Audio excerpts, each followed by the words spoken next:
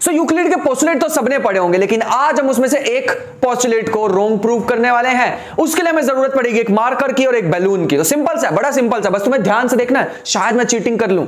यहाँ पे अगर मैं एक लाइन ड्रॉ करूँ, जो कि मैं तुम्हारे सामने कर रहा हूँ, और यूक्लिड ने कहा था कि दो parallel lines never intersect each other या फिर वो इंफिनिटी में जाकर इंटरसेक्ट करती है। तो ध्यान से देखना, अगर मैं ये वाली लाइन को लूँ, एकदम सीधा सीधा जा रहा हूँ, देखो, बिल्कुल स्ट्रेट लाइन बनाई है मैंने, कहीं भी मूव नहीं किया।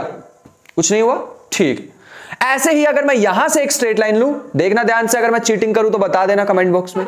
तो अगर मैं इसको भी बिल्कुल सीधा सीधा सीधा सीधा ले जाता जा रहा हूँ वेट अ सेकंड ये तो हमारे पास इंटरसेक्ट हो गई है।